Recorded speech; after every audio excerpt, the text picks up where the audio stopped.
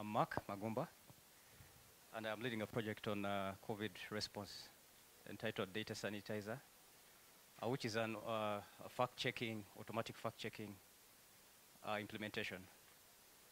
Uh, so with the advent of COVID, uh, the time of the pandemic coincided with the elections in major democracies like the USA.